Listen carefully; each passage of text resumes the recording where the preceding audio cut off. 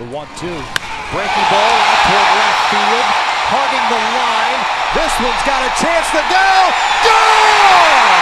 Big fly for Albert Pujols. Number 600.